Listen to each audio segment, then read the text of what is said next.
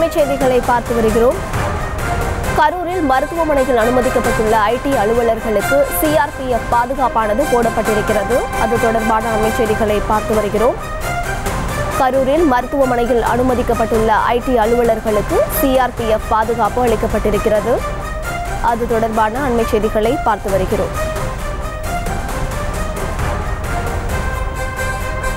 நேற்றைய தினம் அமைச்சர் செந்தில் பாலாஜியின் தம்பியின் வீட்டில் ஐடி அலுவலர்கள் சோதனை மேற்கொண்ட நிலையில் அங்கு ஏற்பட்ட மோதல் காரணமாக ஐடி அலுவலர்கள் மருத்துவமனையில் அனுமதிக்கப்பட்டிருக்கின்றனர். அவர்களுக்கு மருத்துவமனை முன்பாக சிஆர்பிஎஃப் பாதுகாப்பானது அளிக்கப்பட்டிருக்கிறது. அது தொடர்பான அண்மைச் செய்திகளை பார்த்து வருகிறோம். கரூர் அரசு மருத்துவமனை முன்பாக சிஆர்பிஎஃப் வீரர்கள் குவிக்கப்பட்டிருக்கிறார்கள்.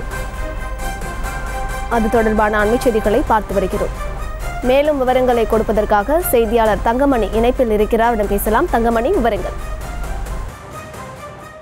வணக்கம். அதாவது கரூரில் தமிழக மின்சாரம் மற்றும் மதுவிலக்கு ஆயத்தீர்வைத்துறை அமைச்சர் செந்தில் பாலாஜியின் நெருங்கிய உறவினர்கள் மற்றும் அவருடைய நண்பர்கள் அவருடைய சகோதரர் அசோக் ஆகியோரது வீடுகளில் நேற்று வருமான வரித்துறை அதிகாரிகள் சோதனை நடத்தினர். இதன் ஒரு பகுதியாக அமைச்சரின் சகோதரர் அசோக் வீட்டில் வருமான வரித்துறை அதிகாரிகள் சோதனை நடத்த சென்ற பொழுது அங்கிருந்த போராட்டக்காரர்கள் மற்றும் திமுகவினர் சோதனை செய்த வந்த அதிகாரிகளை முற்றுகையிட்டு வாக்குவாதத்தில் ஈடுபட்டனர். அப்போது சிறிதாக சலசலப்பு என்பது ஏற்பட்டது. இதனைத் தொடர்ந்து அவ்விடத்திற்கு சென்ற நான்கு வருமான வரித்துறை அதிகாரிகளை தாக்கியுள்ளனர். இதில் படுகாயமடைந்த நான்கு வருமான வரித்துறை அதிகாரிகள் கரூர் அரசு மருத்துவக் கல்லூரி மற்றும் மருத்துவமனையில் சிகிச்சைக்காக அனுமதிக்கப்பட்டனர். நேற்று- நேற்றைய நிலையில் தற்போது இன்று சிகிச்சை பெற்று வரும் இந்த வருமான வரித்துறை அதிகாரிகளுக்கு பாதுகாப்பு அளிக்கும் வகையில் தற்போது மத்திய ரிசர்வ் போலீசார் வந்து இங்கு வந்து பாதுகாப்பு பணிகளில் ஈடுபட்டு வருகின்றனர். அதே சமயத்தில் சிகிச்சைக்கு பெறும் நோயாளிகளிடம் சோதனை செய்த பிறகே அவர்களை மருத்துவமனைக்குள் அனுமதிக்கும்